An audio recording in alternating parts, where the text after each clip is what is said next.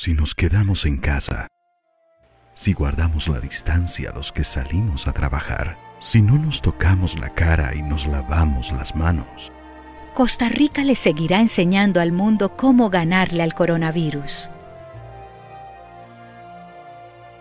somos el país que luchó para echar a William Walker Luchó para acabar con el analfabetismo. y llevó la salud a todos y todas. Somos Costa Rica. El pueblo valiente que, sin ejército, sabe luchar para proteger lo nuestro. Hoy estamos jugándonos el segundo tiempo y nos falta mucho para ganar.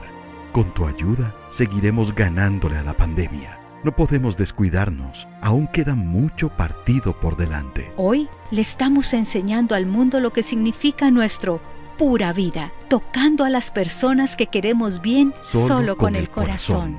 Unite al equipo que, Cuidándonos desde nuestros hogares o guardando distancia en la calle y el trabajo, luchamos por nuestra patria, porque el coronavirus no conoce la fortaleza de este gran conjunto llamado Costa Rica. hacelo por la familia, Hacelo por Costa Rica. Quedándonos en casa, cuidamos el pura vida.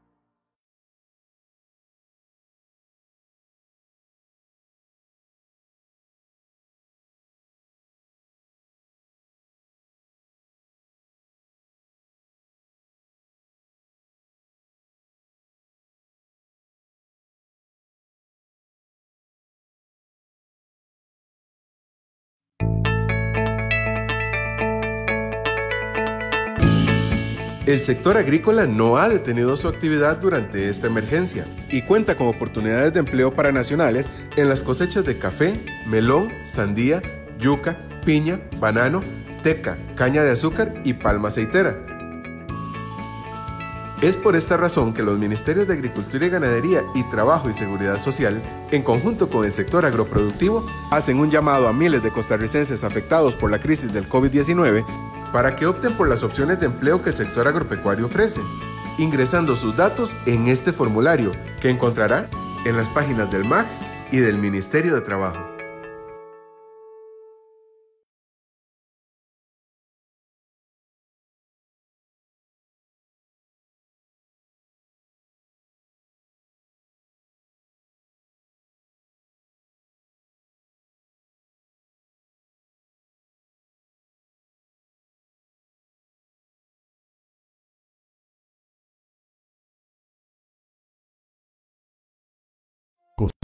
Es mi patria querida y por ella mi vida daría.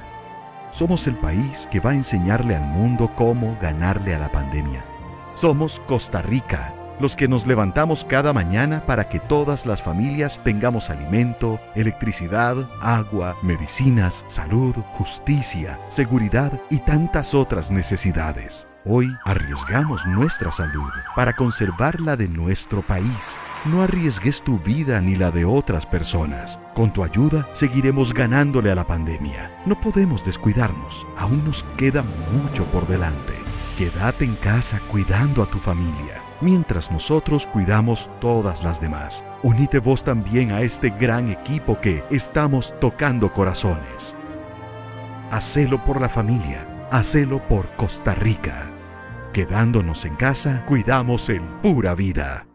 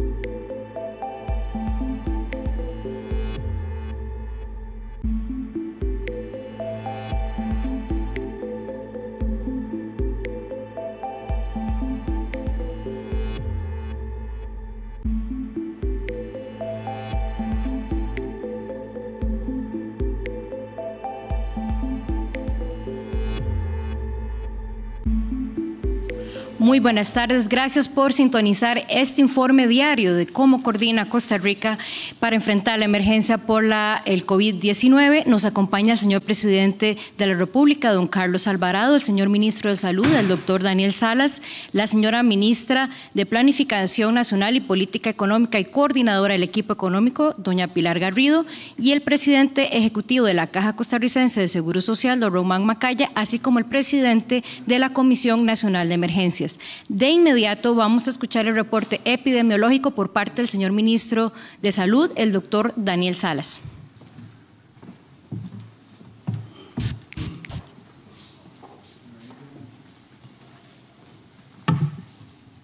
Muy buenas tardes al señor presidente de la República, don Carlos Alvarado, a don Román, a doña Pilar, a don Alex, todos los que están acá presentes y siguiendo la transmisión al ser primero de julio, se alcanza un total de 3.753 casos confirmados.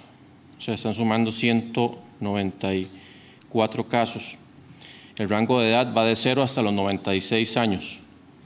Perdón, se están sumando 294 casos. Se trata de 1.624 mujeres y 2.129 hombres, de los cuales 2.668 son costarricenses y 1.085 son extranjeros. Se contabilizan casos positivos en 79 cantones. Tenemos por edad 2.942 adultos, 182 personas mayores, 540 menores de edad, 89 se encuentran en investigación. Se registran 1.516 personas recuperadas en 74 cantones. Se suma Matina a la lista de cantones con casos recuperados. En este apartamento en ese departamento, perdón, de los casos recuperados tenemos edad de 0 a 92 años, 698 mujeres, 818 que son hombres, por edad son 1.231 adultos, 68 personas mayores y 199 menores de edad, 18 se encuentran en investigación.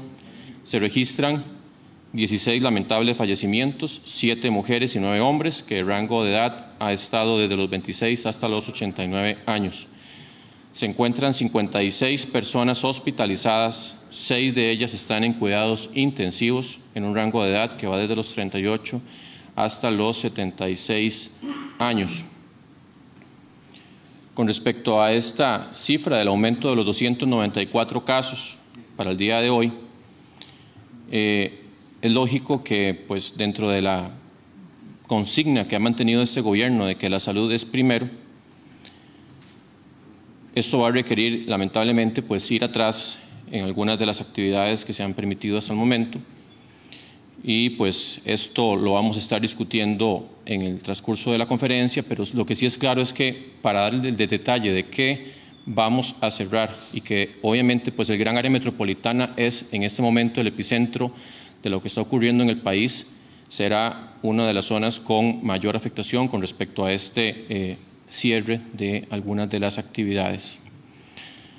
Eh, incluso es importante indicar el número de positivos que tenemos en este momento por COVID-19, que se alcanza hoy, implica mayores dificultades para las áreas de salud, para todo el, el despliegue operativo para darle seguimiento a todos los nexos. Y eso se suma al riesgo siempre latente de que se establezca una transmisión ampliada a nivel comunitario. Así que eh, parte de toda esta dinámica vamos a hacer testeos operativos especiales, como ya le habíamos indicado, en zonas de la gran área metropolitana para intensificar justamente toda esa detección de casos y las acciones que ello desprende, eh, esperando ya empezar este fin de semana y que estaría involucrando desamparados, además de la Carpio y a la Juelita. Además, yo sí quisiera eh, indicar que tenemos un caso positivo de COVID-19 en el edificio del nivel central del Ministerio de Salud. Ya se encuentra aislada la persona y los contactos respectivos. Así que eh, para indicar estas medidas de cierre que se van a anunciar mañana, ya con especificidad, van a empezar a aplicar a partir de este viernes, van a regir al menos una semana y vamos a estar calibrando los cantones y las medidas específicas. No será todo el país, pero sí ocupamos tomar medidas muy importantes con respecto a este aumento de casos y sí hay que reafirmar que el hecho de la apertura económica no es una apertura social. Yo creo que aquí se ha malentendido del hecho de que hemos avanzado abriendo algunas actividades comerciales, la gente piensa que ya pueden eh, perfectamente también hacer, una apertura social y eso no corresponde. Aquí tenemos que ser muy cuidadosos y vean que aquí está en riesgo la salud, la vida, trabajos de personas que justamente por tal no medir hacen una fiesta, eh, varias fiestas y están en riesgo no solamente sus vidas, su salud, sino también los trabajos, porque si esto indicamos se empieza a incrementar de la forma en como lo estamos viendo, va a tener un impacto mucho mayor, no solamente a nivel sanitario, sino a nivel económico. Muchas gracias. Muchas gracias al señor ministro de Salud por este reporte epidemiológico. Escucharemos el mensaje del señor presidente de la República, don Carlos Alvarado Quesada. Gracias. Muy buenas tardes a todas y a todos. Quiero hablarle a las y los costarricenses que el día de hoy nos ven. Quiero darles tres mensajes. El primero es un mensaje de realismo. Desde el inicio de la pandemia, la salud ha sido lo primero.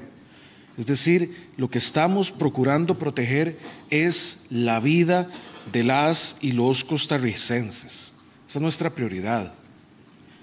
Por ello, con el incremento de casos que hemos visto durante los últimos días, eh, en esto que ha sido la segunda ola eh, pandémica y hoy que se reportan estos 294 casos, eh, el Gobierno de la República comunica que fortaleceremos las medidas de protección de la salud. Esto no es diferente a lo que hemos dicho desde antes. y esta es la realidad a la que tenemos que ajustarnos durante la pandemia. Es lo que hemos denominado la parte de el martillo y la danza, que tiene diferentes momentos. Hay momentos donde hay apertura y otros momentos donde hay que restringir. Y esto será así hasta que haya una vacuna, hasta que haya una cura generalizada y para eso podemos esperar todavía algunos meses más. Hay que esperar. Entonces, a esta realidad es la que tenemos que ajustarnos. Esta será la primera vez que, como lo hemos anticipado antes, por el número de casos iremos hacia atrás con medidas antes adoptadas, con más restricciones. Estas empezarán a regir a partir de este día viernes, el viernes de esta semana. Empezarán a regir el viernes, serán comunicadas el día de mañana y regirán al menos por una semana. Es decir, mañana se comunicará cuáles son esas medidas y dónde se implementan. El viernes comenzarán a regir y estarán vigentes durante una semana al menos, esperando ver que esto reduzca el impacto o lo modere sin que signifique que inmediatamente se vea la reducción de los casos. Y eso es muy importante decirlo a las y los costarricenses. Todos entendemos que el aumento en la curva de contagios generalmente tiene un rezago de dos semanas con respecto a, eh, a los acontecimientos ocurridos por el periodo que tiene de incubación el virus. ¿Por qué lo comunicaremos mañana? Porque queremos hacer todavía más detalle en el análisis de la información, los datos y todo el trabajo que el grupo que está en sesión permanente de la Caja, del Ministerio de Salud y de la Comisión de Emergencias eh, llevan adelante para determinar dónde se aplicará esto. Pero sí se puede adelantar dos cosas. No será en todo el país, pero ciertamente tendrá un impacto grande en el área metropolitana. Será en el área metropolitana donde se implementará y será anunciado el día de mañana. Importante decir, de la información preliminar, muchos de estos casos no corresponden necesariamente a contagios en centros de trabajo. Corresponden a actividades, llamémosle, extracurriculares, actividades que son reuniones sociales, que son aglomeraciones, que tienen que ver con la disciplina de las personas. Es decir, muchos en el gran área metropolitana o en el área metropolitana no son necesariamente casos por temas laborales, pero están impactando toda la actividad. Y eso es un llamado de atención importante. El día de ayer que nos reunimos con cinco personas que son personas recuperadas de COVID-19, hubo una señora que estuvo más de un mes hospitalizada y en un coma inducido para cuidarle el COVID, un señor 53 días en una UCI, también en coma inducido, y se logró recuperar. Y los testimonios son de cómo a la gente le cuesta respirar. Esto no es una ficción, es una realidad. Hoy tenemos que proteger las burbujas sociales y tenemos que aplicar el martillo. Y eso es lo que corresponde. El segundo mensaje, el primero es este de realismo, el segundo mensaje es de empatía. Yo sé que hay cansancio, yo sé que hay angustia. Yo quisiera contarles también personalmente, yo extraño, por ejemplo, ver a mis padres. Mis padres viven en uno de los distritos que está en alerta naranja. Y desde declarado en alerta naranja, yo no he ido a ver a mis padres. Y los extraño. Y sé que ese es el caso de muchas personas y hay cansancio físico, mental. Pero esta es la realidad que ahora tenemos que afrontar juntos, acompañándonos. Y lo podemos hacer y vamos a salir adelante. Estoy convencido de eso porque somos costarricenses y lo demostramos una y otra vez. Este es un momento para acompañarnos todos. Vamos a salir adelante. Es un momento difícil y hay que reconocerlo con realismo, pero vamos a salir adelante y ya lo estamos haciendo. Y muchos países en el mundo nos están mirando por lo que estamos logrando. No perdamos la confianza en nosotros mismos. Sigamos, sigamos adelante eh, en ese sentido. Ese es mi tercer mensaje. Un mensaje de esperanza. Veamos alrededor cómo personas de diferentes partes del país, del sector público y privado, de diferentes partidos políticos, de diferentes edades, se han sumado positivamente a hacer cosas positivas. A veces solo enfatizamos donde hay un error o una falta, pero hay tantos aciertos que hemos logrado y tantas cosas buenas que tenemos que tener esperanza. Tengámosla, vamos a salir adelante con realismo llevando adelante las medidas, con empatía, porque esto no es fácil, pero con esperanza, porque sí se puede. Costarricenses, salgamos adelante y eso es unidos, trabajando con fuerza y motivándonos unos a otros. El día de mañana las autoridades que me acompañan de las distintas carteras anunciarán los detalles de lo que hemos comentado hasta ahora. Muchas gracias. Gracias, señor presidente, por este mensaje al país. Vamos a escuchar al presidente ejecutivo de la Caja Costarricense de Seguro Social, el doctor Román Macaya, sobre el estado de las hospitalizaciones. Doctor Macaya, muy buenas tardes. Muy buenas tardes. Un saludo especial al presidente de la República, al ministro de Salud, la ministra de Planificación y el presidente ejecutivo de la Comisión Nacional de Emergencias. Lo que estamos viendo en términos de un incremento muy pronunciado del número de casos confirmados, ya lo estamos viendo reflejado plenamente en nuestros hospitales. Al día de hoy, en el corte de esta hora, tenemos 56 pacientes hospitalizados en los hospitales de la caja. De esos 56 pacientes, 39 están en SEACO, ocho están en el San Juan de Dios y tres en el Hospital México. Todos esos lo que llamamos sala, no es cuidados intensivos. y tenemos seis en cuidados intensivos, tres en el Hospital Calderón Guardia, dos en el México y uno en el San Juan de Dios. Si vemos dónde estábamos hace una semana, el 24 de junio teníamos un total de 30 pacientes hospitalizados entre sala y unidades de cuidados intensivos. Hoy tenemos 56. SEACO tenía 20 pacientes hace una semana, hoy tiene 39.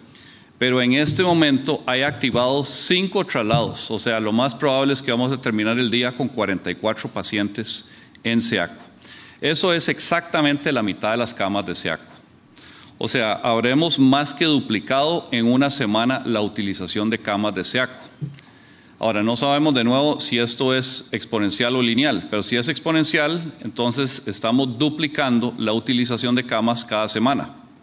Significaría que en una semana más duplicamos una vez más y pasaríamos de 44 camas a 88 camas, que es exactamente el número de camas de SEACO. O sea, podríamos estar a una semana de saturar SEACO. Eh, esta, esta, situación nos está eh, ya motivando a abrir la segunda sala. SEACO tiene dos salas de, camas y cada una tiene 44 camas. Entonces ya estamos abriendo la segunda sala y estamos contratando personal para eh, atender ese mayor volumen. En total se han confirmado 211 pacientes hospitalizados desde que inició esta pandemia en Costa Rica, 36 de ellas en UCI, en cuidados intensivos, y 175 en salón. Y en SEACO eh, ha habido un total de 94 egresos de todos los que han ingresado. Y han habido dos fallecidos en SEACO, la estancia promedio en SEACO ha sido de 12 días y ha habido un, total de estancia hospitalaria de 610 días en total de hospitalizados en SEACO. Y el equipo Prime, que es el que hace los traslados de pacientes COVID, ha tenido ya 132 traslados desde que inició esta pandemia. Entonces, el mensaje de hoy es, tenemos que cuidarnos para cuidar a los demás.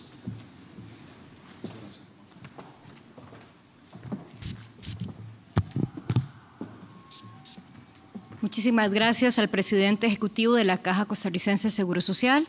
Nos informan que el señor presidente puede atender tres consultas que corresponden a cómo ingresaron los colegas aquí al auditorio de la Casa Presidencial. Siendo así en el orden de ingreso, escucharemos la primera consulta para el señor presidente de los temas atinentes a esta conferencia de prensa por parte de don Edgar Fonseca de puroperiodismo.com.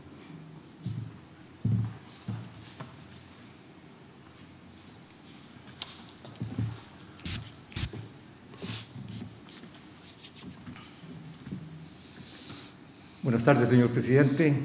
Buenas tardes, don Román, don Daniel, don Alexander y doña Pilar.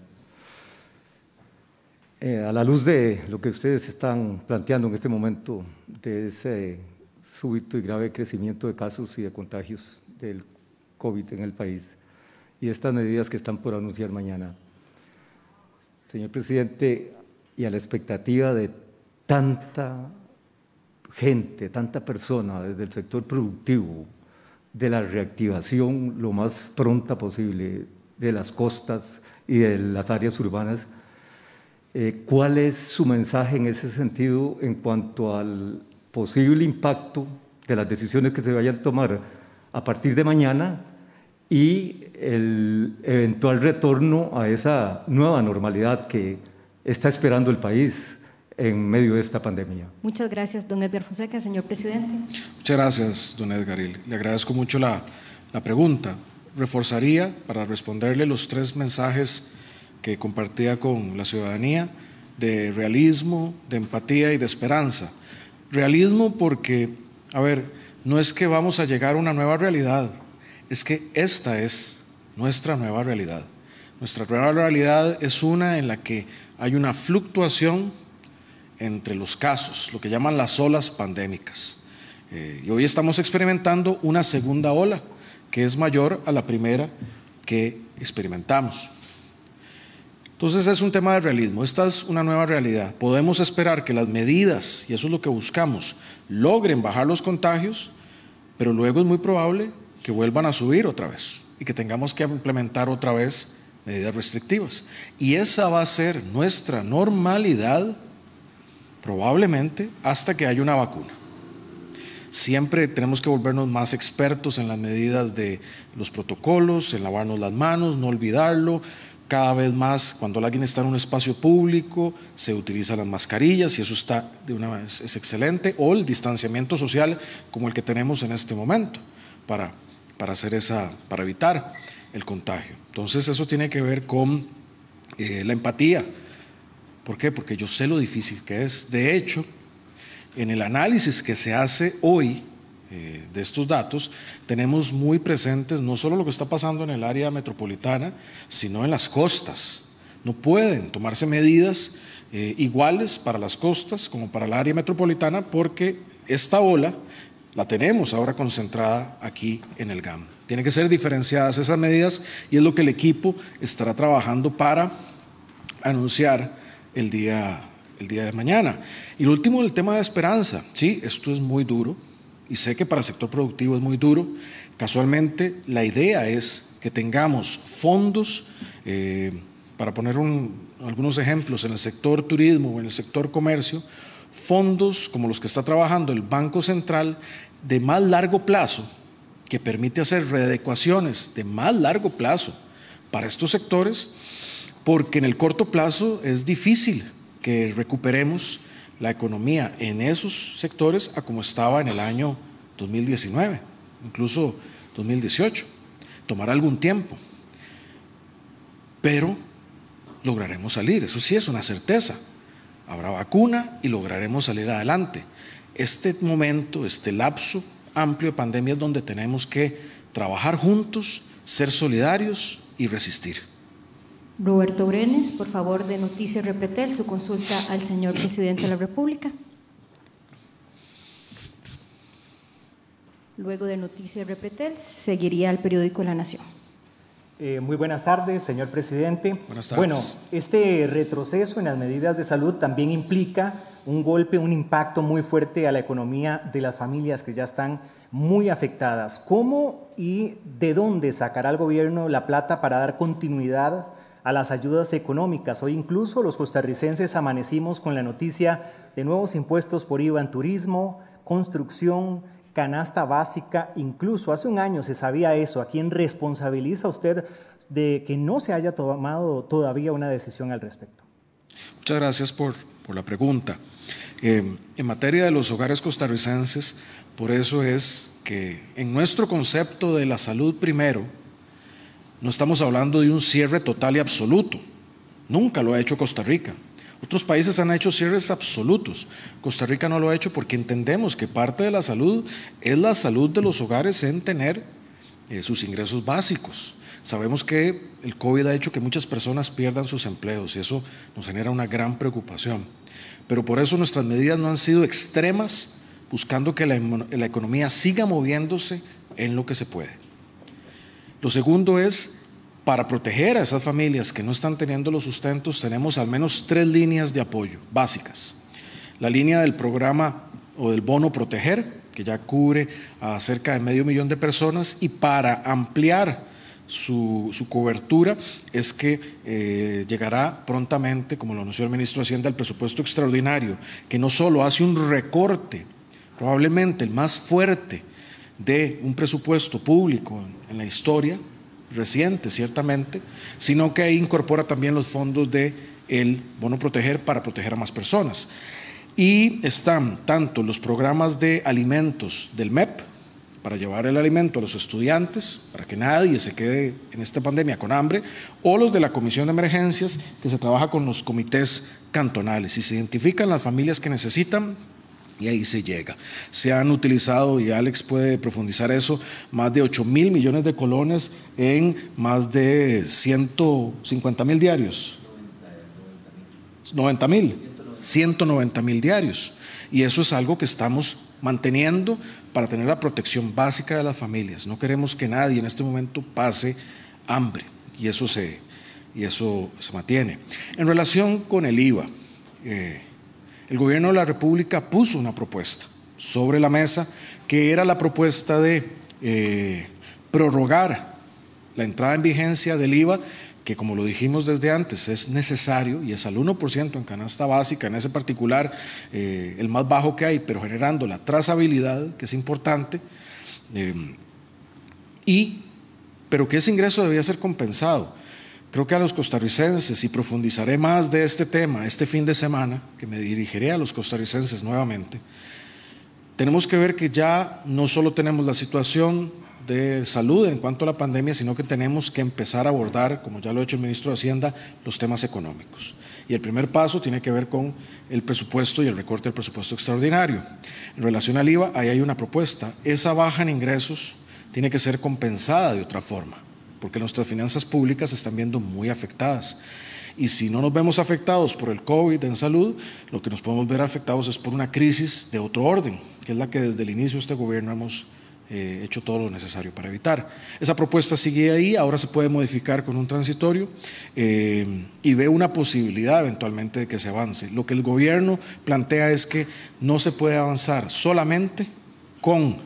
Eh, retrasar ese 1% en materia de IVA porque el impacto a la economía sería mayor. Pero hay apertura para el proyecto en materia de construcción, porque hay un proyecto ya presentado en materia de la progresividad del IVA en, construcción y que nosotros como gobierno estamos comprometidos a ayudar también en ese. Josué Bravo del periódico La Nación, por favor su consulta al señor presidente de la República. Una vez finalizado este periodo, retomamos las consultas para los demás jerarcas. Buenas tardes, presidente. Mucho gusto de nuevo.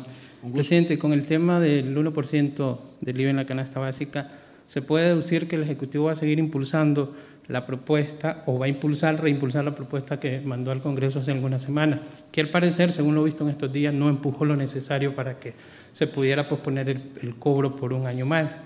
De no lograrse, eh, mantiene el compromiso del Gobierno de destruir o de destinar parte de estos recursos a pensiones del régimen no contributivo de la caja, cómo se lograría trazabilidad en caso de que se logre eh, ampliar alguna exoneración en, esta, en este 1% de, de, del IVA en la canasta básica si prospera la propuesta en el Congreso. Y eh, lo último, eh, va a insistir en grabar el salario escolar eh, el Ejecutivo, partiendo de que la Sala Cuarta dijo que es un componente salarial y no están pagando, digamos, IVA. Una última pregunta, disculpe, tiene que ver con el presupuesto. Eh, ayer el ministro de Hacienda anunció que el reto o, la idea, la meta es reducir un 1% eh, del PIB en este presupuesto extraordinario. ¿Se mantiene en pie ese planteamiento? ¿Cómo va a ser su estructura? ¿Qué áreas se estarían recortando? Y cómo va a ser para el gobierno para eh, retribuir ese, medio billón que no se estaría generando en ingresos según Hacienda, que es, que es un millón menos el 1% del PIB quedaría como un excedente de medio billón o 600 mil millones de colones. Muchísimas gracias, Josué, señor presidente. por ahí, don Josué, para, porque son varias y, y para que me las refresque si no, si no completo todas.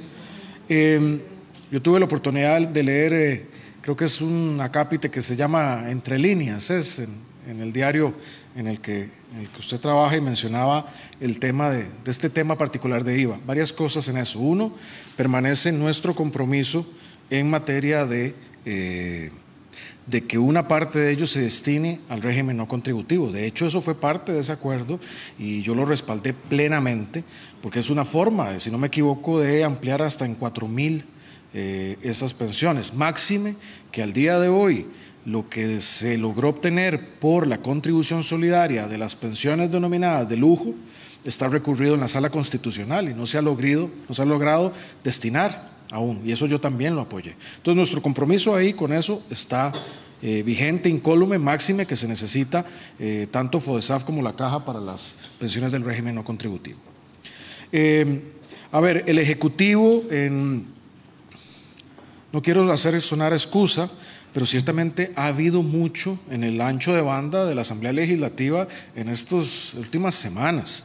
Estamos hablando de que nuestras prioridades están en el extraordinario primero, que, que, traía la plata de proteger y que estamos reformulando con este otro extraordinario. Se están discutiendo en comisiones cosas muy importantes, se ha dictaminado la ley del INA, eh, leyes importantes se discuten como jornadas eh, excepcionales, varias de las iniciativas de turismo, entonces ha habido una agenda, llamémosle, cargada. Eh, y nosotros planteamos una opción, es una opción con la que podríamos persistir. Sí, como propuesta a su pregunta, creemos desde el gobierno que eh, el salario escolar debe pagar renta. ¿Y por qué? Porque si es un componente del salario, como el salario de todas las personas en esos escalafones, por un principio de igualdad, debe eh, pagar renta porque lo que tiene ahora no es que le vamos a poner un gravamen, lo que tiene hoy es una exoneración, que no lo tienen otros, otras personas en sus componentes salariales. Entonces sí consideramos que hay que avanzar con ese, con ese, con quitar esa exoneración y a su vez, si eso permite hacer eh, el alivio en materia de la canasta básica por un periodo, es oportuno. Pero no puede ser nada más lo de la canasta básica sin más.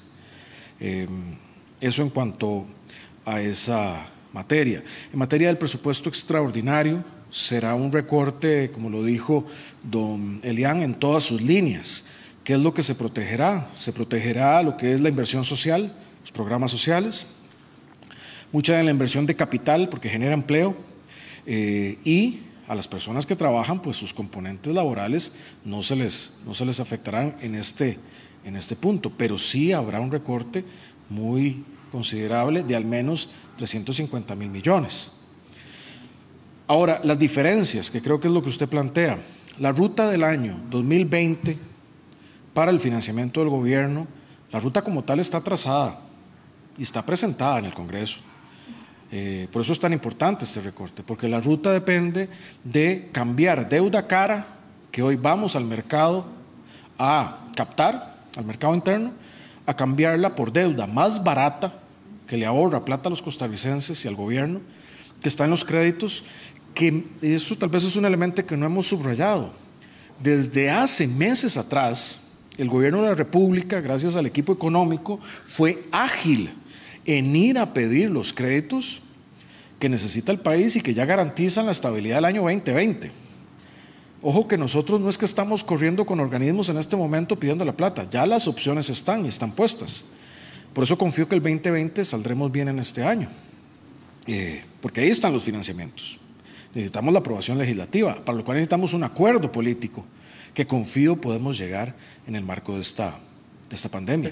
Muchas gracias, perdón, Josué, tenemos que retirar. Josué, Esos 600 mil millones o 500 mil millones va a ser vía deuda que se va a sustituir, se va a rellenar. Ese detalle, el diferencial, para ser preciso, yo te pediría que lo hables con, directamente con Elian, porque él es el que maneja ese detalle y lo que yo podría decirte podría, eh, podría no ser la información precisa.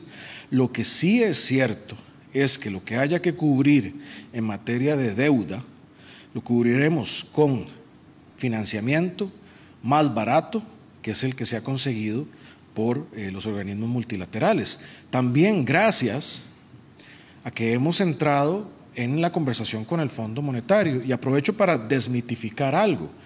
Eh, la visión que muchos costarricenses permanece de la relación con el fondo viene de la que fue la relación con el fondo en los años 80. Y eso, eso fue hace 40 años. El Fondo Monetario Internacional, la relación que tenemos ahora, es una que está teniendo con todo el mundo y en las veces que he conversado con eh, Cristalina Georgieva, la presidenta del fondo, la preocupación fundamental ahora es la estabilidad de los países. Esa es la preocupación fundamental. A esa es la discusión a la que vamos con, con el fondo. Lo bueno es que ya tenemos esa conversación. Estamos en esa ruta garantizando eh, la estabilidad para el país ahí también hay mucha esperanza de que podemos, con nuestro esfuerzo, salir bien, no solo en la parte sanitaria, sino en la parte económica. Gracias, presidente. Muchas gracias, Josué. Podemos coordinar también con el Ministerio de Hacienda. Gracias, señor presidente, quien debe retirarse para atender la siguiente actividad en su agenda. Vamos a continuar en las preguntas con Pablo Campos de Multimedios. Por favor, nos indica usted hacia quién va dirigida su consulta y de seguido con Tomás Gómez del Observador también nos indica a quién va dirigida su pregunta. Muy buenas tardes para todos y felicidades por el trabajo que están realizando. Eh, yo creo que nuestro deber también es cuestionar, así que para eso estamos aquí. Eh, mi primera pregunta es para la eh, ministra Pilar Garrido. Doña Pilar, desde hace un año se sabe que iba a ingresar el cobro del IVA para el sector construcción, para turismo y ahora para la canasta básica. La pandemia ocurre desde hace cuatro meses. ¿Por qué se esperaron tanto para pedirle a los diputados que esos impuestos no se cobraran?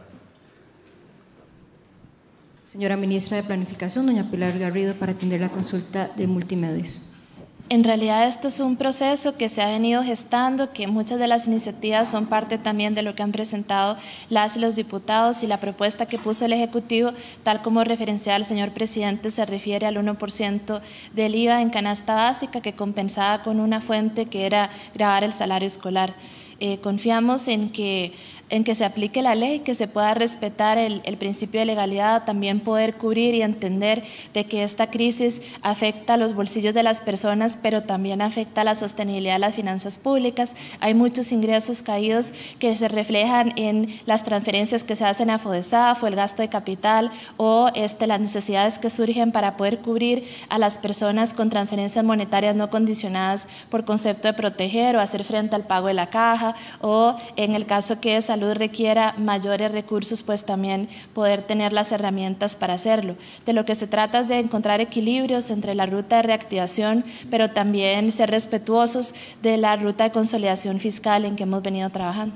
Doña Pilar, ¿pero a quién responsabiliza usted el atraso que ustedes tuvieron para presentar estos proyectos o a los diputados que no lo aceptaron, porque ya hoy este, muchísimas familias, por ejemplo, esta mañana en un experimento que apliqué en una compra de 25 mil colones en un supermercado, ya nos están cobrando 1.600 colones del IVA, lo que representa un paquete de arroz para muchísimas familias de este país, que a partir de ahora lo van a tener que descontar por culpa de un impuesto que se pudo evitar, no sé si por el atraso de ese proyecto de ustedes o por eh, la falta de acuerdo político de los diputados para no aprobarlo.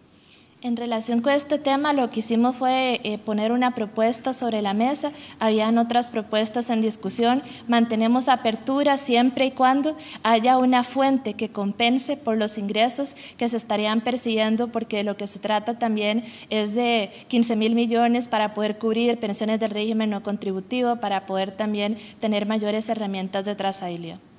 Gracias, Pablo. Muchísimas gracias. Muchas gracias. Tomás Gómez de El Medio Digital El Observador, su consulta y nos indica hacia quién va dirigida. Gracias, buenas tardes. Primero para don Daniel, queríamos saber si ha habido conversaciones con la OPS ante este crecimiento de casos que estamos teniendo, si nos han advertido alguna situación de que pasemos de riesgo bajo a riesgo medio, cómo está la conversación por ese lado. Y luego hay críticas de que algunas municipalidades han procedido a hacer algunos cierres de locales en medio de confusión por cómo funciona la alerta naranja o la alerta especial. Queríamos saber cómo coordinan ustedes desde acá para que no se repitan estas situaciones. Y doña Pilar, nada más si podemos precisar cómo va la negociación con el stand-by, con el FMI. Muchas gracias. Gracias, Tomás. Y gusto iniciamos con el señor ministro de Salud, el doctor Daniel Salas, y de seguido la señora ministra de Planificación. Eh, sí, con respecto a las conversaciones con OPS en realidad han sido permanentes. Ellos incluso forman parte eh, asesora de los equipos técnicos que han venido trabajando en diferentes temas. Así que en todo momento, pues ellos han estado al tanto de la situación y son parte justamente de los equipos, tanto a nivel de, por ejemplo, eh, lo que es proyecciones, impacto en los servicios de salud, los protocolos de vigilancia, todo lo que ha conllevado el armamento técnico de lo que hemos llevado adelante en medio del COVID-19. Así que con respecto a este momento de casos, pues obviamente ellos han estado dándole seguimiento y están totalmente al tanto y, como lo digo, siempre respaldando desde el punto de vista de cómo podemos ir implementando las medidas más apropiadas de acuerdo a los momentos epidemiológicos. ¿Y si podemos cambiar el estatus de riesgo bajo riesgo medio con el aumento de casos que hemos tenido? No, yo creo que eso es algo que pues, en todo momento se está evaluando, ¿verdad? Y claro que estamos aquí, ya empezamos a ver un impacto no solamente en el número de casos, sino en el internamiento en, la, Caja Costarricense de Seguro Social. Obviamente para eso tenemos que seguir haciendo todas las medidas posibles para que ese impacto no se empiece a traducir en fallecimientos de forma frecuente, ¿verdad? que eso es lo que estamos todos tratando de hacer. Y con respecto a la segunda pregunta, que es de, los, de las municipalidades, Nosotros tenemos dentro de eh, lo que es el COE, eh, ¿verdad? el Centro Operativo eh, de, que está coordinando desde la Comisión Nacional de Emergencias, diferentes mesas y hay una mesa justamente que se encarga de esa coordinación municipal. Todo lo que son eh, irregularidades y ese tipo de situaciones pues se tratan de abordar desde esa mesa y se giran todas las eh, medidas que se puedan hacer para mejorar ese tipo de coordinación. Muchas gracias. Señor presidente, perdón, doña Pilar, el presidente de la Comisión Nacional de Emergencias quería complementar esta respuesta en relación a las municipalidades y los comités municipales de emergencias. Don Alexander Solís, por favor. Gracias. Eh, sí, en relación con lo que mencionaba el doctor Salas, efectivamente existe una mesa de trabajo donde coordinamos todos estos aspectos con las diferentes municipalidades. El caso que usted plantea en específico es una situación que se presentó eh, en la municipalidad de San José justamente ante una noticia falsa eh, que comenzó a circular donde se decía que se cambiaba el estado de alerta naranja para algunos distritos del Cantón Central de San José. Esto se aclaró desde ayer, nosotros lo aclaramos vía redes sociales, volvimos a publicar el estado de las alertas y también se coordinó con la Policía Municipal, eh, con su director, para poder eh, aclararle a los funcionarios que estaban tomando la acción justamente ante esta noticia falsa. Doña Pilar Garrido, para continuar con la respuesta del medio El Observador. En relación con su consulta sobre el stand-by arrangement y las negociaciones que, eh, que si están avanzando o no, decirle que en este momento en lo que estamos trabajando con el Fondo Monetario Internacional es justamente en esta línea rápida de financiamiento que está en la Asamblea Legislativa, que es por concepto de 508 millones de dólares. Cuando esto se apruebe, esa será la llave para entonces empezar con las negociaciones para eh, el stand-by arrangement. esta primera línea de financiamiento lo que hace reconocer la trayectoria y el trabajo que hemos venido desarrollando en materia de consolidación fiscal y también nos plantea seguir avanzando en esa ruta. Muy importante señalar que, como decía el señor presidente, las necesidades brutas de financiamiento 2020 están cubiertas. Hay una ruta dentro del Consejo Económico para ello y que este stand-by arrangement nos vendría a reforzar para poder cubrir las necesidades brutas de financiamiento del año 2021.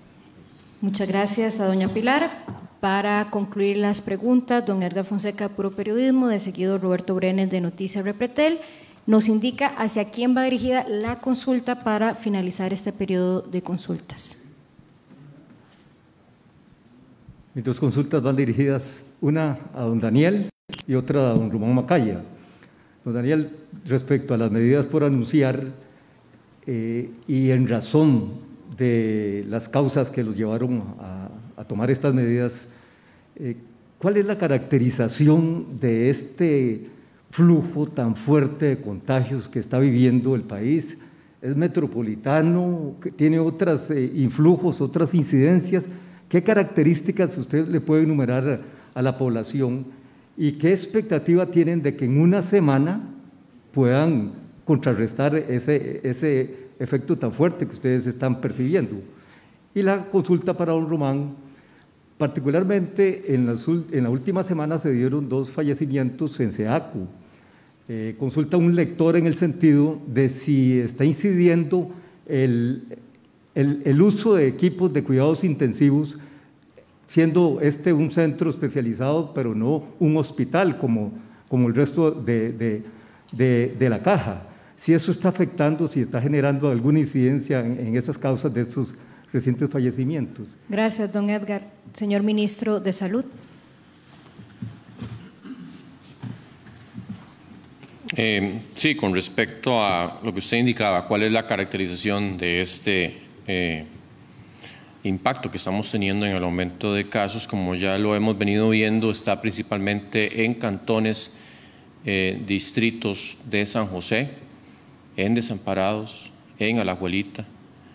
Hemos tenido también en, bueno, lo que es Pavas, que en realidad ya hicimos el operativo, sin embargo, pues ahí siguen reportándose casos. Y también han estado algunos casos en Heredia, en Alajuela, en algunos sectores específicos. Lo que sí es cierto es que es la GAM, es sobre todo estas zonas centrales las que están aportando aproximadamente un 70%, 60, 70% de todos los casos que tenemos en este momento. Y la expectativa de control de esos casos en una semana. En realidad dijimos es al menos una semana. Sabemos que el periodo promedio de incubación del virus, que es cuando justamente vemos un contingente de casos y esperar que haya un aumento importante, sería en cuestión de seis, siete días. Eh, la gente generalmente, a menos de que se capte ya estando en una orden sanitaria previa con una cuarentena, si no es así, no es que ocurre exactamente esa manifestación del cuadro y consultan inmediatamente, sino que pasan algunos días generalmente para que consulten. Sin embargo, es parte de todo esto, o sea, es parte de la dinámica y pues en realidad vamos a dar un tiempo de una semana esperando que esto pues veamos una reducción importante, ¿verdad? Lo que hablábamos en este momento, lo peor sería entrar en una curva exponencial en donde ahí sí es muy difícil volver atrás. Don Román Macaya, presidente ejecutivo de la Caja Costarricense de Seguro Social. Sí, estos dos fallecimientos que se han dado en SEACO demuestran que, bueno, cualquier persona que está en un hospital está ahí por, por una muy buena razón, si no estaría en su casa. Eh, SEACO tiene intensivistas, o sea, no es por falta de equipo de, especializado, no es por falta de equipo, o sea, en SEACO hay ventiladores, hay monitores, hay lo que se ocupa para sostener un paciente, pero a veces estos pacientes evolucionan muy rápidamente y se deterioran muy rápidamente y, suceden estas situaciones. Eh, también hay que recordar que SEACO está pegado al lado del Hospital México, o sea, cualquier servicio auxiliar de laboratorio, otras cosas, ahí está el, hospital al lado. Estas, estos fallecimientos ocurren, desafortunadamente. La última señora que falleció tenía 89 años y tenía factores de riesgo, y eso es algo que hemos eh, insistido en comunicar de que las personas que tienen factores de riesgo, especialmente hipertensión, diabetes, tabaquismo o antecedentes de fumado, y em, obesidad junto con asma y otros factores, pero especialmente esos de eh, hipertensión y diabetes, eso es una combinación muy peligrosa. Y esas personas, adultas mayores o no, tienen que cuidarse especialmente. Y el resto de la población tenemos que cuidarnos para no contagiar a personas así. Y yo quisiera aprovechar este espacio para también transmitir un mensaje a, los jóvenes, porque algunos jóvenes pueden decir, bueno, probablemente no me va a pasar mucho y no tengo esos factores de riesgo. Tal vez no soy hipertenso, no soy diabético, pero todo lo que sabemos de este virus lo sabemos de los últimos seis meses. Sea, antes de estos seis meses, para efectos prácticos, este virus no existía en la ciencia.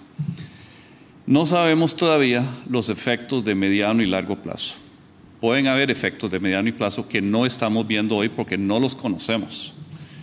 Y eso ha sucedido con muchos diferentes tipos de virus, donde con el tiempo se manifiestan otras secuelas.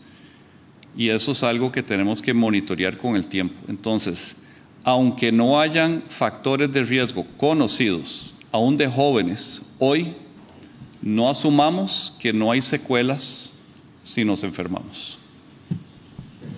Muchas gracias a don Edgar. Por favor, Roberto Brenes de Noticias Repretel, su consulta y por favor nos indica hacia quién va dirigida su pregunta. De seguido, creo que sería usted la última consulta por el día de hoy. Sí, bueno, mi pregunta es para don Román. Eh, la primera es, bueno, el país tiene poco más de 40 intensivistas. ¿Cómo harían para atender a la población enferma de este país en caso de que se saturen las unidades de cuidados intensivos? ¿Cuál sería el plan B? Y la segunda pregunta es, ¿por qué ya no se hará esta semana el testeo masivo que incluso se anunció el día de ayer para la zona de la Carpio y también a la Vuelta?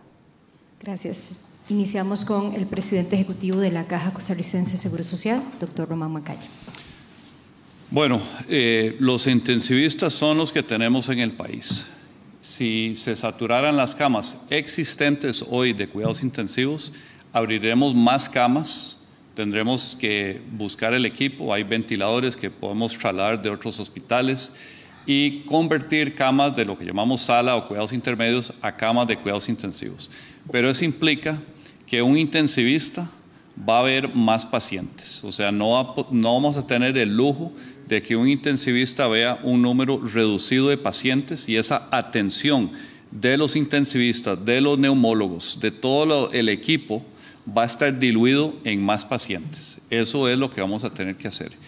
Y en cuanto a eh, el testeo de la Carpio y otras zonas de, alta vulnerabilidad, estamos coordinando esto junto con el Ministerio de Salud para eh, aprovechar lo que aprendimos en, en Pavas y estos son operaciones muy robustas, muy, muy amplias. O sea, hay más de 100 personas involucradas. O sea, la logística de esto no es fácil. Nos concentramos en Pavas en estos últimos días y vamos a estarnos concentrando en otras comunidades en estos días que vienen. Muchas gracias, doctor Macaya. Vamos a continuar con las preguntas de los medios regionales, que nos quedan dos por atender. La pregunta es para el señor Alexander Solís de la Comisión Nacional de Emergencias, presidente de esta institución, de parte de Edgar Chinchilla de la zona norte. Si gusta, don Alexander, usted puede colocarse en el podio para que pueda escuchar la siguiente pregunta. Indica el colega de la zona norte, hay una confusión con la restricción vehicular. Se puso una restricción diferenciada a principio de junio para sectores fronterizos como comunidades como Pital, Aguasarcas, Cutris, Pocosol, Venecia, Río Cuarto, entre otras. Ahí la restricción quedó igual que en la zona naranja del de 5 de la tarde a 5 de la mañana. Pero ahora en los últimos cambios la población está confundida y no se sabe si quedó igual como estaba, de 5 de la tarde a 5 de la mañana o si pasó a ser zona amarilla de 10 de la noche a 5 de la mañana entre semana y de 7 de la noche a 5 de la mañana los fines de semana. ¿Podría aclarar, don Alexander, el horario de restricción de estas zonas si es a las 10? Hay un decreto que se derogará el anterior que establecía que iniciaba a las 5 de la tarde. Bien, muchas gracias. Recordemos que las alertas, y así lo hemos venido comentando desde que hemos venido manejando la alerta amarilla para todo el país, que inició en marzo, justamente cuando tuvimos un aumento en los casos. Todo el país está en alerta amarilla por COVID-19. La alerta amarilla significa preparación y tomar medidas elementales de contención y se han ido estableciendo medidas administrativas que van a ser graduales aún dentro del margen de una alerta. Cuando establecimos la alerta naranja se eh, basó en los criterios epidemiológicos, en los criterios de movilización y en los criterios de, que daban cuenta que teníamos un riesgo ampliado de eh, la transmisión o de casos en esos sitios. Eh, recordemos que las alertas están vinculadas con el nivel del riesgo al que estamos expuestos y eso puede derivar en medidas administrativas. Las medidas administrativas que se establecieron en el cordón fronterizo, que son esos distritos de la zona norte que, que menciona en la consulta, están vinculadas con el movimiento de personas migrantes en ese sector irregulares y que se está desarrollando mediante un operativo con el Ministerio de Seguridad Pública. Al momento de elevar la alerta naranja a algunos otros distritos por el factor de riesgo que ya mencioné, se tomó esa medida restrictiva en términos de la restricción vehicular sanitaria aunada a la medida restrictiva de los comercios que rige de las 5 de la tarde a las 5 de la mañana. Pero antes de eso ya la restricción sanitaria diferenciada estaba establecida para los distritos del cordón fronterizo. Cuando se eh, valoran las alertas, que lo hacemos semanalmente, y algunos distritos cambian de alerta amarilla, como es el caso, por ejemplo, de la Fortuna, que una parte cambió eh, nuevamente a alerta amarilla, no cambian los de la restricción diferenciada. Por eso es que estos que siempre se han mantenido en alerta amarilla tienen la restricción vehicular diferenciada entre las 5 de la tarde y las 5 de la mañana. Don Alex, también la siguiente pregunta es para usted. Eh, también de la zona norte de Noticias Alanjara. Ante este gran aumento de casos y la urgencia que había de establecer los centros de aislamiento, nos consultan, ¿podría referirse al establecimiento de estos albergues, principalmente en la zona norte y otras partes del país? ¿Cuántos hay operando y cuántos entrarán a operar aproximadamente, próximamente, perdón, dónde se ubican, qué capacidad tienen y cuál será el costo total para poner a funcionar estos albergues para el país.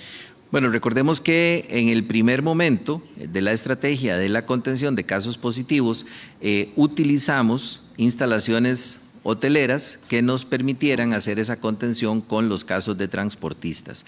Posteriormente, eh, tuvimos eh, la aparición de los casos en población trabajadora, sobre todo en la zona norte del país, y utilizamos también esos, esos hoteles que ya estaban establecidos. En este momento tenemos dos instalaciones hoteleras operando para casos positivos, más las cuatro instalaciones que están operando para contención de población en calle. En términos de los próximos que se estarían estableciendo, se ha venido coordinando con cada uno de los alcaldes. Eh, se tienen identificados centros para San Carlos, perdón, me está haciendo falta el de San Isidro de Peñas Blancas, que eh, en el sector de eh, Ángeles, que dicho sea de paso, eh, ayer ya fueron dadas de alta las personas que estaban ahí por parte del Ministerio de Salud, lo cual demuestra que esa contención comunitaria es muy efectiva en los sitios donde se establece. Y asimismo hemos identificado sitios en los chiles, en Huatuso, estamos trabajando con la identificación y preparación de un centro más en Upala. Y en el gran área metropolitana también estamos identificando un centro adicional. Muchas gracias al presidente de la Comisión Nacional de Emergencia. Señor Ministro de Salud, usted tiene un mensaje final, doctor Salas, para el país antes de finalizar esta conferencia de prensa. Sí, el mensaje es para toda la población. Hoy tenemos, eh, como ya anunciamos, la cantidad más alta de casos, 294 en total en un día. Y esto pues obviamente nos preocupa mucho. Recordemos que cuando estábamos empezando esta pandemia había una consigna que era que la curva la aplanábamos entre todos y todas. Esa consigna nunca se ha detenido, nunca se ha puesto en pausa, sigue estando muy vigente. Y por eso es que ese asunto de, no transgredir las burbujas sociales, de no hacer fiestas, de no... Yo sé que el cansancio, obviamente no estamos igual en este momento, 115 días después de que tuvimos el primer caso, pero tenemos que tratar de ser fuertes, valientes, porque al final es nuestro país, es nuestra gente la que está aquí en juego, es la vida de muchas personas que son cercanas o de ustedes mismos y que ya indicamos, si esto entramos en una curva exponencial, aquí van a haber fallecimientos muy seguido, gente que vamos a tener que decirle adiós porque no hubo campo en un hospital. Así que se, mantiene esa consigna, la, la, curva la aplanamos entre todos y todas y ocupamos ese esfuerzo, esa colaboración, ese apoyo, esa solidaridad, ese entendimiento de que es un año muy difícil, claro que sí, pero que al final todos valoramos mucho nuestra vida. Y por un año que podamos comportarnos de forma diferente, podemos tener muchos años más rodeados de la gente que queremos. Así que de verdad esa consigna se mantiene. Todos podemos aplanar esa curva, pero es todos y todas. Aquí no hay nadie que se pueda salir de esa, de esa consigna.